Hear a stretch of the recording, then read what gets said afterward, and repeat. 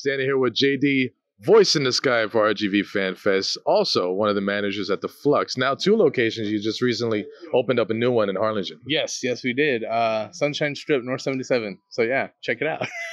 Definitely. And um, you got to explain to the people that don't know. I know because it's awesome and I love to go there. What is what happens at the Flux?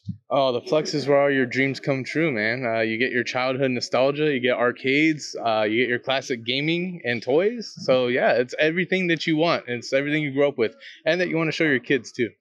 So, yeah. Definitely. Nothing to flux around with. Yeah, nothing to flux around with. Definitely got the Sega CD, you got the Super Nintendo, and you still have uh, some uh, some current stuff with the Gears yes. Five stuff.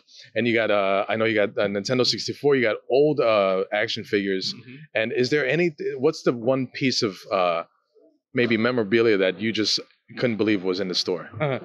Uh, well, right now at this moment we have three pieces. Two of them are um, He-Man vintage and they're graded like perfect box everything. So we have both of those. They're going for about a thousand each so that's awesome.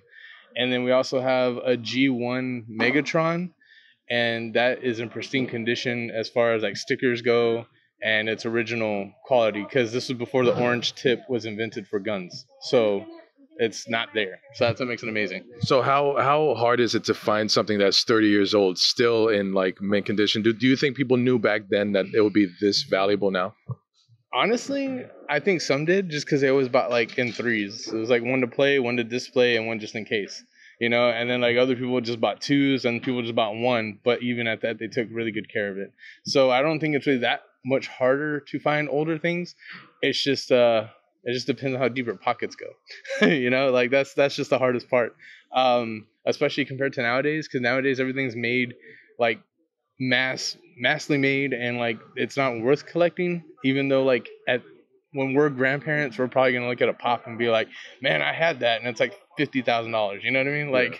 it's crazy yeah. so not only the old school memorabilia you also have awesome art, a room of arcade games mm-hmm. yes we do and uh, one of our holy grails in there is the star wars cab the original star wars cab um, we also have DDR for everybody who likes to dance, and then we have the Pac-Mans, uh, the Galagas. We have all the Mortal Kombat's. Um, even drivers and other fighters and like Street Fighter and all that good stuff.